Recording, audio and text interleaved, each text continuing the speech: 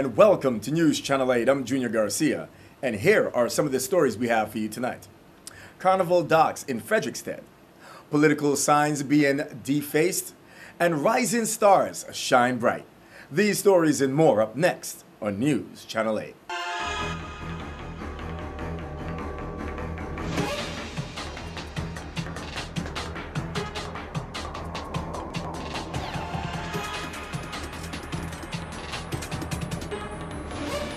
Channel 8 News is brought to you by R3D to help balance your quality of life, a blend of herbs and phytonutrients to help support joint health.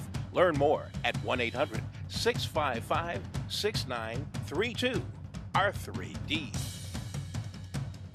In tonight's top story, passengers of the Carnival Valor cruise ship was welcomed in Frederiksted today with much fanfare from a parade to live music, food, and more.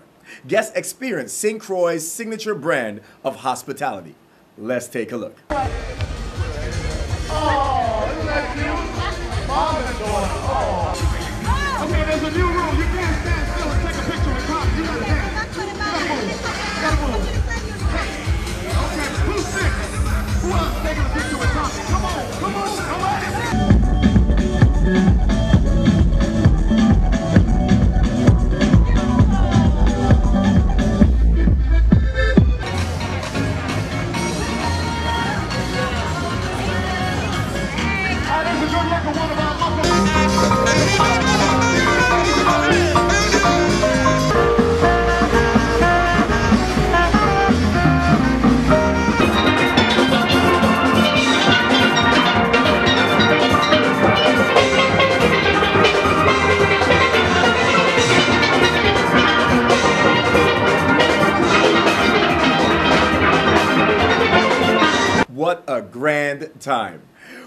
have more on the carnival's visit later in tonight's broadcast. In other news, with August 2nd primarily elections only four days away, police is reminding the public that the destruction of political signs is a crime punishable by law. VIPD spokeswoman Melanie Rames has more. Assistant Police Commissioner Thomas Hanna is sending a strong warning to individuals who are vandalizing political signs in the Virgin Islands. He said if you are identified by a police investigation as being involved in this destructive practice, you will be prosecuted to the fullest extent of the law. A suspect may be charged with destruction to property and can face up to one year incarceration if convicted. Several candidates and campaign workers have approached VIPD officers and expressed their frustration as they discover their campaign signs destroyed, defaced, or damaged. The assistant commissioner said it takes a lot of effort, time, and money to get these signs out where the public can see them. He said the destruction of political signs will not likely change the outcome of a political election and may even give sympathy votes to the candidate whose signs have been vandalized. And if you see anyone vandalizing signs, please call the Emergency 911 Dispatch Center or Crime Stoppers USVI at 1 800 222 TIPS. Moving along, Commissioner of Sports, Parks, and Recreation, St. Clair Williams, will stand before the Senate for the third time to give testimony on the rebuilding of the Paul E. Joseph Stadium in Frederiksted. Williams recently appeared on the Holland Redfield Straight Talk radio show to discuss his plans. Let me explain basically what, what the project is all about. Right. Because the Paulie Joseph uh, Stadium and Sports Complex, it's a really a design and construction of a AAA uh, dimension baseball field and multi-purpose Mm-hmm. Now, what is stadium. what is a AAA? That Well, means certain requirements that you can go ahead and does- have farm teams and yada yada yada. Yeah, it's yes. Okay, okay. Because you have double A and so forth. Um, Okay. Uh, size uh, baseball field. But and then also it is also for little league field. In other words, we have the Terrence Martin field there. Yeah. Okay, and so also that would be uh, part of the project. Wow. And also for a permanent uh, St. Croix Festival Village. Because that's actually in Act Yeah. 7453. Sure, So it's, sure. it's, it's, it's a big project. Right. Okay? Two for the price of and, one. and, and so that's the other thing that the amendment is doing uh, to Act 7453 to make sure that the scope of work includes all of these three projects. Mm-hmm. Okay, so it's it's uh, it's taken away any ambiguity Right. uh, that might have been there in terms of what the project is all about. Mm-hmm. And basically, what we're talking about in terms of a stadium is a 3,005 uh, 3,500 Right. uh, seating capacity. Wow. Also for the for the little league team, it'll be a 750 to a 1,000 seating capacity. Mm-hmm. And then the, the village will be we will have permanent booths, Right. which would be 10 permanent booths and then 10 uh, concrete slabs that would have all the accessibility to powers, sewage, uh, water, and so forth. Right. And so at the time when I presented this propo- uh, request for proposal, I actually included the, the festival village Mm-hmm. because I believe that it would complement the, the, the stadium itself, you know, and whatever else is going on there. Yeah. And there's so many, I believe, promoters out there who would really like to do projects there. Remember when we used to have the jazz festival, uh, you had the blues festival and stuff. What used to take place right here in St. Croix, right there at that Right, stadium. right. Okay, and I think we can be able to come back to those kinds of things in a, in, in addition to Mm-hmm. uh, national and, and international sports taking place right there at the Pauli Joseph All right, let Stadium. me- And new tonight, police is warning that fraud is on the rise throughout the territory. With instances of credit card, phone card, and cell phone scams taking place, victims are urged to inform authorities immediately. Here is Melanie Rames with more of those details. Assistant Police Commissioner Thomas Hanna is urging persons who have been victims of credit card fraud to make a police report at your nearest police station. He said, We understand there have been a number of persons on St. Thomas, St. John, and St. Croix who have experienced credit card fraud, but our reports do not reflect that trend.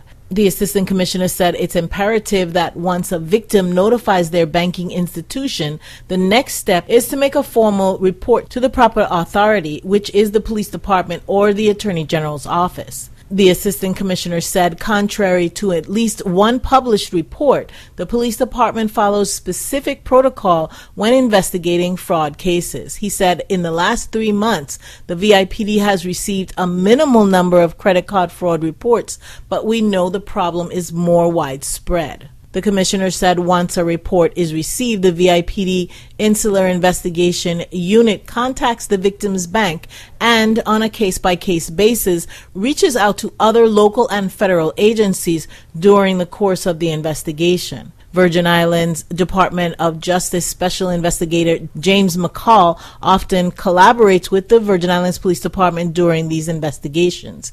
He assured the public that investigations into credit card fraud is not dormant. His advice to victims is to call the authorities as soon as it happens. McCall said these frauds are originating mainly from Florida, but can happen anywhere, and locals may be more susceptible to be defrauded using their credit cards at various bars and restaurants on the islands.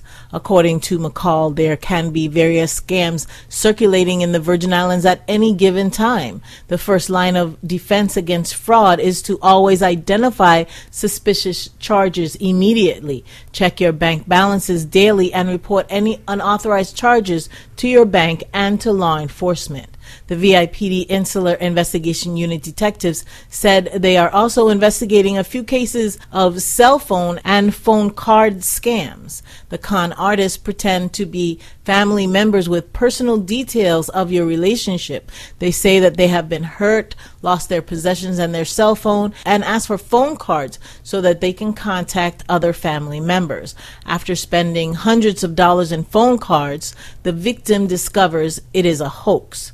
Detectives say anyone who receives a phone call saying that a relative or a close friend is in trouble or hurt, try not to let your emotions and sympathy for the person overcome your common sense. Ask the person for a phone number to contact them or an address so that you can identify the information.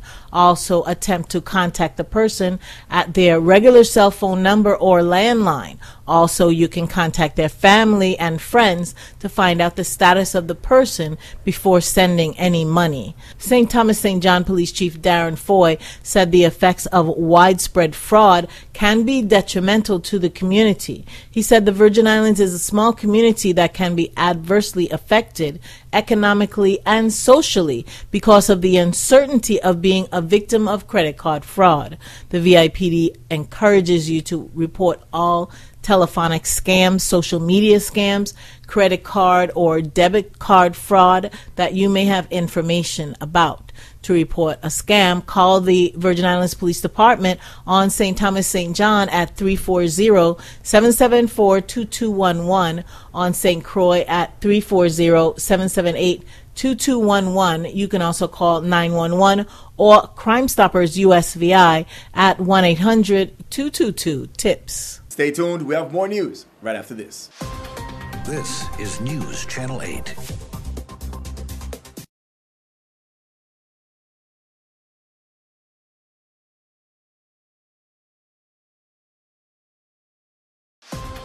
This is News Channel 8. And welcome back to News Channel 8. Now, here is Cynthia Graham with your nightly Caribbean report.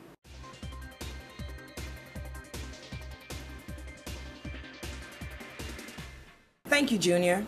Malala Yousafzai, the 16 year old Pakistani education activist, has praised Trinidad for the stance the country has taken on free education. Malala achieved international renown after she was shot by the Taliban almost two years ago for campaigning for education rights for girls and women. She arrived in Trinidad on Sunday, saying that her ultimate goal is to ensure that education is free around the world. Her visit coincides with the 10th anniversary celebrations of the University of Trinidad and Tobago, and she will also speak at two other engagements on the island this week. Trinidad and Tobago offers free education to children between ages 5 and 16 and is considered to be one of the most educated countries in the world. Caught between its desire to grow the economy, create jobs, and cut electricity costs, as well as the negative impacts associated with building an oil refinery, the Antigua and Barbuda government is looking to a mix of clean energy and fossil fuels to address its energy needs. This will in fact result in significant extension of periods of drought as a result of fluctuations in temperature. This is also happening at a time when there are so many options that could deal with part of the energy challenge, Martin said. He suggested instead that the Antiguan government look to sources like biofuel, solar, and wind energy to reduce reliance on crude oil. And finally, tonight, brighter days are ahead for St. Lucia, according to Prime Minister Kenny Anthony. He says he is optimistic on the outlook for the country's economy. Speaking at a convention recently held in St. Lucia, the Prime Minister said investment is slowly returning to the island nation. Two years ago, four of our major hotel properties were in distress and in the hands of receivers appointed by banks, Anthony said. Today, all four properties have new owners and new management. Recent estimates show that in 2012, St. Lucia received $109.4 million in foreign direct investment, according to data from the World Bank. And this has been tonight's Caribbean Report. I'm Cynthia Graham. We'll be back here tomorrow to bring you more news and views from in and around the Caribbean. Junior, back to you.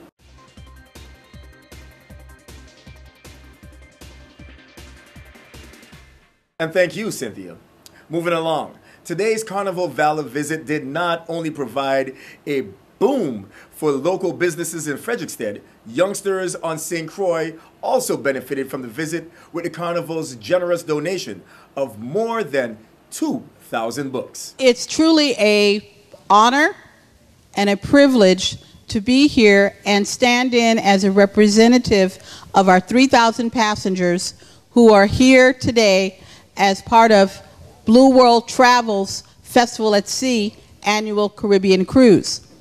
We have chartered the ship and we have come as vacationers to enjoy what the Caribbean has to offer and our passengers are definitely excited about enjoying what St. Croix has to offer during today's visit. But while we're on vacation, we also know that we have a responsibility to share and to give back. And one thing that unites our passengers who come from all over the United States, as well as from the UK and Barbados, is that we share a desire to make sure that the spirit of learning and the flame of discovery stays alive. Consequently, behind me, you see several boxes that are overflowing with gifts gifts of knowledge, gifts of inspiration, and gifts of what can happen next. And so our passengers have dug deep and made a contribution by purchasing a book or two to give. Welcome to beautiful St. Croix. Welcome to the historic town of Frederiksted, which is also known as Freedom City. On uh, behalf of the Department of Planning and Natural Resources, Division of Library, Archives, and Museums, Commissioner Alicia B. Barnes could not be here today, but Blue World Travel, thank you so much for this generous donation. It's a wonderful gift. Gifts and donations are always welcomed, but books especially are invaluable gifts. Why? Books are for a lifetime. Books are gifts for a lifetime. They can be passed down from generation to generation. Thank you, and I'm sure those books will be put to good use. Stay with us, we have more news straight ahead. This newscast has been sponsored by Mario's Virgin Crystal. Let us save you the hassle of lugging those jugs around. Purified bottled water conveniently delivered to your home or office. Also available in your favorite grocery store. Call 773 2810. This is News Channel 8.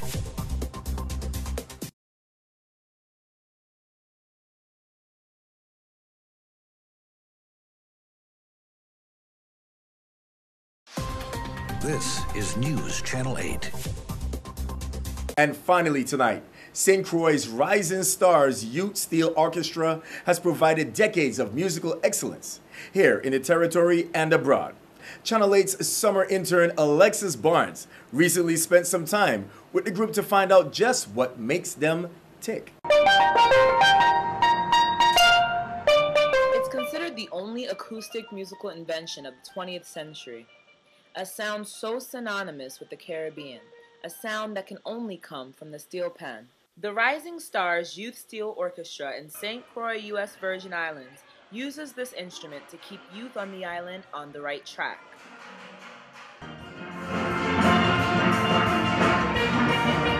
It, it helps to prevent school dropout as part of the crime prevention responsibility of the Superior Court and to help decrease juvenile delinquency. We provide an environment here where they can come to learn learn music, provide a home away from home. Like I said, the main objective is to help them graduate high school. We get people like lawyers and you know to lecture them, give them little information on you know why they should stay off the streets and so forth. While the mainland national high school graduate average reached its highest of 80% in 2013, the Virgin Island Department of Education and No Child Left Behind reported St. Croix's 2012 rate at 60.4%, the most recent year statistics available. The program helps with SAT prep and college applications, along with education in the history and techniques of the steel pan instrument. It's very unique. Um, for me, I started at the age of nine years. I've been doing this for 25 years. It's something that I love doing, so I would like to pass it on. I like excitement, and the steel drum is a lot of excitement.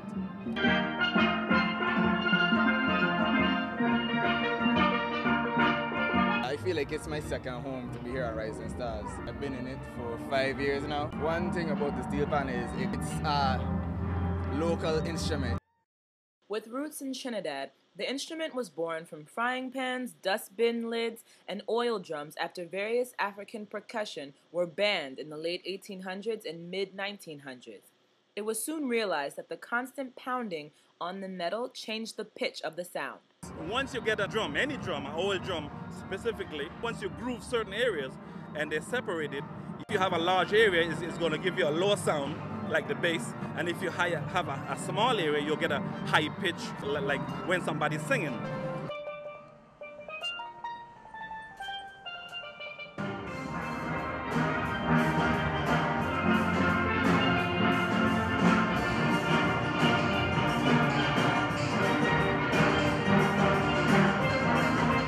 Reporting from Frederiksted in St. Croix, United States Virgin Islands, this is Alexis Barnes.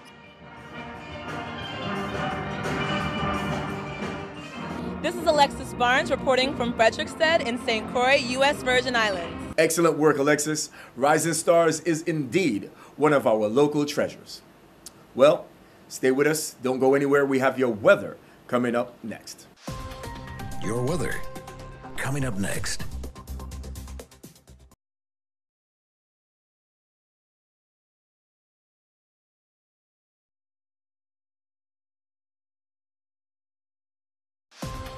Your weather. And here's a look at your local weather. Tonight will be mostly clear with a low of 69 degrees. Tomorrow, expect sunny skies and a high of 83.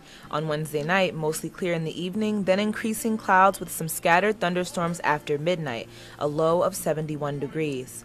On Thursday, scattered thunderstorms possible throughout the day and into the evening, a low of 82 and a high of 70%. On Friday, thunderstorms are being predicted earlier in the day with a high of 82 degrees. In the evening, there's a low of 72 and a 20% chance of rain with isolated thunderstorms. This has been Alexis Barnes with your Channel 8 News Weather. Thank you very much for tuning in. That's all we have for local news. Do not forget to like us on Facebook at WSVI And also follow us on Twitter at WSVI TV News. And be sure to subscribe to Channel 8 on your YouTube at WSVI TV News Channel 8. Watch us on your computer, plus use the free Dish Anywhere app to DVR us or see us anywhere in the world on your smartphone or tablet. I'm Junior Garcia, and World News is up next. Good night, Virgin Islands. Channel 8 News is brought to you by R3D to help balance your quality of life, a blend of herbs and phytonutrients to help support joint health. Learn more at 1 800 655 6932. R3D.